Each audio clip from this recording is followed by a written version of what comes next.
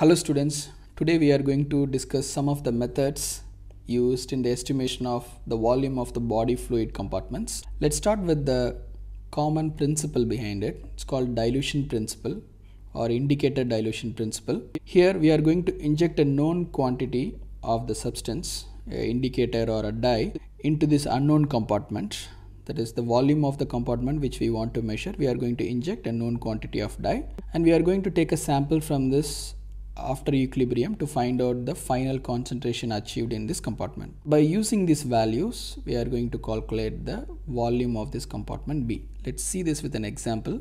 So here we are injected a known quantity of substance in the compartment B. Let's say we have injected 10 ml of the dye which had the original concentration of 1 milligram per ml. The total amount we are injecting is 10 milligram of the dye. So that's the total amount injected. Now this compartment B also we can write the same thing. We can measure the final concentration in B. Let's say we have got it as 0.1 milligram per ml and we don't know the volume of this compartment. The indicator amount B is actually equal to indicator amount A because the dye has not gone anywhere. It is staying within this compartment only. So the total 10 milligram remains within this compartment B. If we rewrite this, we don't know only this volume B. So volume B is equal to the total amount injected that is 10 milligram divided by the final concentration achieved that is 0.1 milligram per ml. So the volume is going to be 100 ml. So this is the volume of this compartment. So this is the broad principle which we are going to use for measuring all the compartment volumes. Um, only thing we have to be sure is that the characteristics of the dye which we are choosing should stay only in the compartment we intend to measure. If you want to measure the extracellular fluid volume, then the dye we inject should stay only in the extracellular fluid and should not enter the cell. And it should disperse evenly within the compartment. It should not stay within, for example, it should not stay more in the interstitial fluid and less in the plasma within ECF. Then we are going to have a wrong value. It should not have any effects on its own on the distribution of fluids and it should not be metabolized or excreted during the period in which we are estimating. We may not get a dye which absolutely satisfies all these criteria. So sometimes if some known amount of dye is getting excreted, we might have to do correction for that in our calculations. Let's start with plasma. Here we use a dye called Evans blue because Evans blue is tightly bound to albumin. Once injected into this compartment, it stays only within the plasma. So when we take a final concentration, it gives the estimate of plasma volume. The other substance used is the iodine labeled albumin. Sodium bromide. Here it has an isotope of bromine, radioactive isotope 82 bromine. Once the bromine is injected into the plasma, it goes actually into the interstitial fluid also. So the entire extracellular fluid compartment is filled with bromine. So if we take a final value from this compartment, it's going to estimate extracellular fluid volume.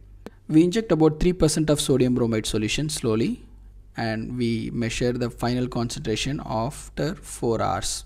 And some amount of bromine also escaped into the intracellular fluid and we have to make correction for that. These are the other substances used in the measurement of extracellular fluid volume. Deuterium oxide it is an isotope of hydrogen. When it is present along with oxygen we call it as heavy water. And when this is injected it behaves like water only. So it goes into all the compartments. So everywhere all three compartments it equally distributes. So we inject around 0.1 per kg of body weight. We measure the final concentration using either breath or in the urine sample we measure hydrogen to deuterium ratio and we can calculate the whole body sample. And deuterium is not uh, radioactive so it is safe to use in smaller quantities. And the other isotope of hydrogen is tritiated water which is actually radioactive and it is not safe. It was once used to calculate the volume of total body water. The other substance is antipyrine for total body water estimation. Total body potassium. This is different from other estimation so far we have seen because we don't have to inject anything this is naturally present in the body this is radioactive isotope of potassium and uh, we are going to use a whole body counter to quantify the emissions from this potassium total cell mass, intracellular fluid volume or the certain things we can calculate using the total body potassium estimation. The next method we are going to see is the bioimpedance analysis. This is a non-invasive procedure. Here we are going to inject current at two different points in the body, a known quantity of current and we are going to measure how much is the current flows across. So effectively we are going to measure the resistance or the impedance for the flow of current. And after measuring this resistance, R50 stands for measuring at 50 Hertz. We are going to use prediction formula like this to calculate the volume of the body fluids. And there are many methods. This is getting developed every day. Like uh, the single frequency uh, bioimpedance analysis, there is multi-frequency bioimpedance analysis, bioimpedance spectroscopy. This is also uh, giving better predictions of body fluid compartments. So this is clinically more preferred because it's non-invasive and very simple to use. And there are other methods like dual energy X-ray absorptiometry, which is also called as the DEXA scan.